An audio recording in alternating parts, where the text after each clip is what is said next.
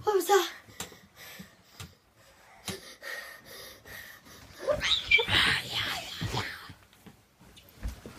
What happened? Stupid Teddy. How could I kill him? You okay? I think he's dead.